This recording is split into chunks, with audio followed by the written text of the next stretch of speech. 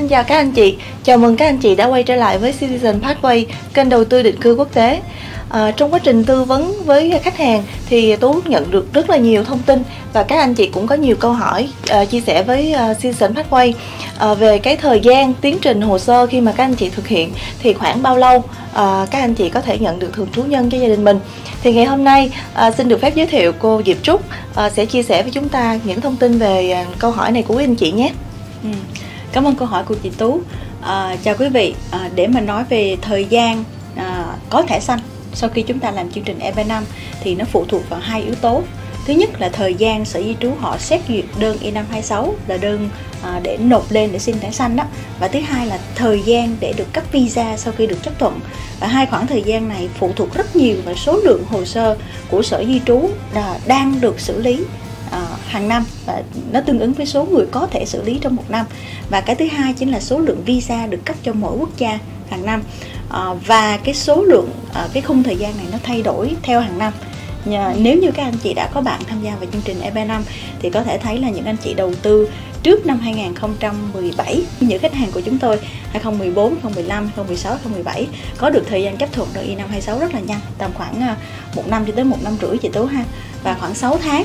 À, để mà nhận visa là dưới 2 năm chúng ta đã có thể nhận được thẻ xanh nếu chúng ta đầu tư trước năm 2017. Lý do lúc đó số lượng hồ sơ ở Việt Nam chưa nhiều và lượng visa ở Việt Nam vẫn còn có sẵn để cấp cho các nhà đầu tư. À, còn sau năm 2018 2019 khi mà số lượng hồ sơ ở Việt Nam nộp lên quá nhiều à, một năm tầm khoảng hơn 700 thậm chí 1.400 một bộ bộ hồ sơ trên một năm và à, tương ứng với cái số visa hàng năm cấp cho mỗi quốc gia từ khoảng 700 cho tới Việt Nam mình là đỉnh điểm là một năm được khoảng 1.400 visa. Thì chia ra à, hiện nay các anh chị à, đã nộp 2018 2019 đợi tầm khoảng 4 năm cho tới 5 năm để mà có à, thẻ xanh. Thì nó còn à, phụ thuộc một số những yếu tố khách quan và chúng tôi cũng luôn động viên khách hàng là hãy luôn kiên nhẫn à, và kiên định với cái mục tiêu khi mình làm chương trình à, nhưng mà nếu các anh chị tham gia vào chương trình EB5 trong giai đoạn này sau luật cải cách liêm chính 2022 à, ờ, thì chính phủ dành riêng một lượng visa cho những nhà đầu tư nộp đơn à, trong những cái dự án nông thôn hoặc là những dự án à, tạo việc làm mục tiêu TEA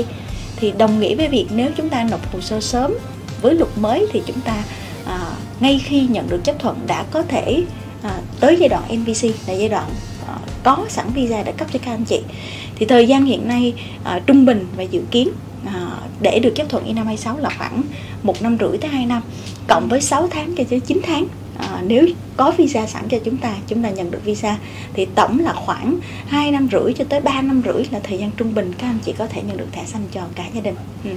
bên cạnh đó à, hình như một số khách cũng muốn sang Mỹ sớm như vậy có cách nào để các anh chị sang Mỹ sớm trong lúc mà chúng ta đợi cái thẻ xanh không chị Tú? Ờ, hiện tại thì um, sở di trú Mỹ cho phép là các anh chị có thể nộp đơn đồng thời nếu như các anh chị có được visa B1 B2 hoặc là các con của anh chị có visa F1 và đang sinh sống ở nước Mỹ thì chúng ta cũng vẫn có thể uh, dùng cái phương án này. Ừ, đúng rồi. Và chúng tôi cũng đã có một số những khách hàng uh, có những loại visa hợp pháp ngay tại Mỹ tương tự như vậy. B1, B2, F1, uh,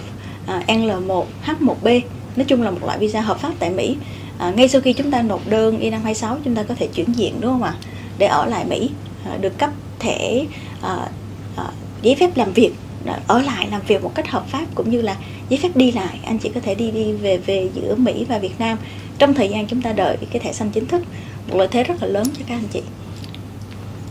Cảm ơn Diệp Trúc và hy vọng những thông tin này à, rất là hữu ích đến các anh chị đang trong quá trình tìm hiểu chương trình cũng như là có những cái kế hoạch phù hợp cho gia đình mình trong chương trình định cư Mỹ EB5 và xin hẹn gặp lại các anh chị trong những câu hỏi tiếp theo.